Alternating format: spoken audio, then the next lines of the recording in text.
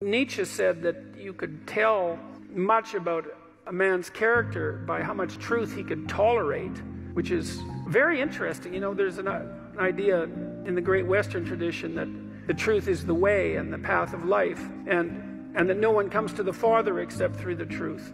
And I believe that to be the case because I don't think that you can manifest who you are without the truth. And so I think it's it's it's literally and metaphorically truth that the the pathway to who you could be if you were completely who you were is through the truth. And so the truth does set you free, but the problem is is that it destroys everything that isn't worthy in you as it sets you free, and that's that's a process of burning. And and and it's it's painful because you cling to what you shouldn't be, um, partly out of pride and partly out of ignorance and partly out of laziness.